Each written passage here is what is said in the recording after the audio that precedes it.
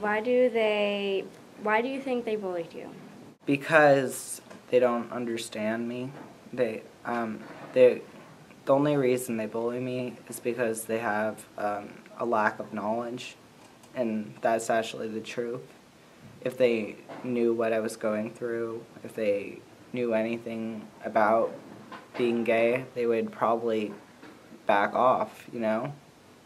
Um, it's it's honestly just because of a lack of intelligence, a lack of understanding, and I feel like if kids were informed, that they would probably not say the things that they do.